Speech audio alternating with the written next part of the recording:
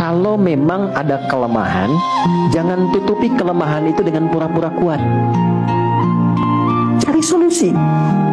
Kalau tidak tahu bertanya, kalau tidak paham konsultasi, supaya kesulitan itu tidak dipendam sendiri.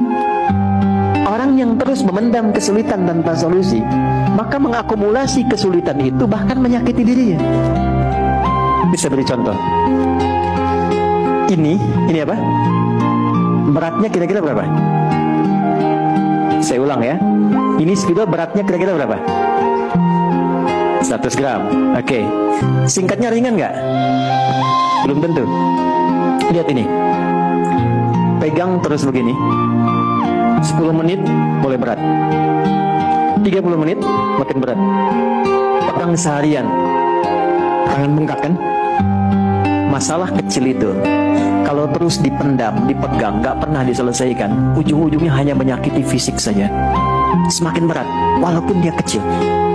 Tapi kalau Anda tempatkan spidol di tempatnya dan kalau tak paham bertanya pada orang yang paham, itu akan mengurai setiap yang kecil menjadi sesuatu yang tidak bernilai.